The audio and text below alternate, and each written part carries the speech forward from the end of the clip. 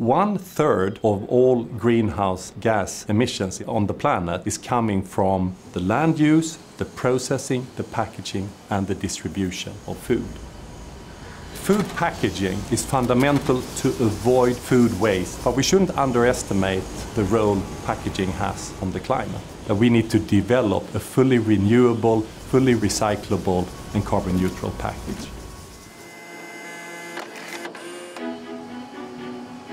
This is one of the research and development center here in Modena, Italy, where the paper-based barrier package has been developed together with teams based in Sweden. The barrier has the important functionality to protect the food from oxygen and light. Aseptic carton packages are made of approximately 70% paperboard, 25% of thin polymers layer and 5% of aluminium. We are replacing the aluminium foil layer with a paper-based barrier. This milestone, where we have cut the carbon footprint of the package with one third, and we have 90% renewable content, it is a serious move towards the future.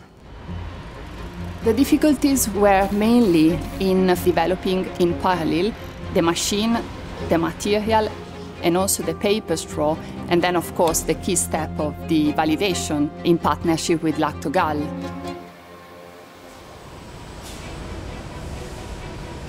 Para nós é importante a sustentabilidade e uh, isso é um compromisso que temos com os nossos consumidores. E como somos responsáveis por colocar no mercado milhões de embalagens, as embalagens para nós são realmente uma preocupação constante. This specific launch, we choose uh, Mimosa chocolate milk. From one side, Tetra Pak brings the innovation, Lactogal provides a deep and mature knowledge of aseptic filling process with production at a large scale. We expect during this year to produce up to 20 million packages and within the next two years to extend this solution to other formats. This is a turning point, but we still have a lot to do. We are spending 100 million euros per year to develop and create the next solution. We now see millions of packages being bought and consumed, but we should remember that we sell something like 180 billion packages per year. Our founder's ambition was that a package should save more than it costs.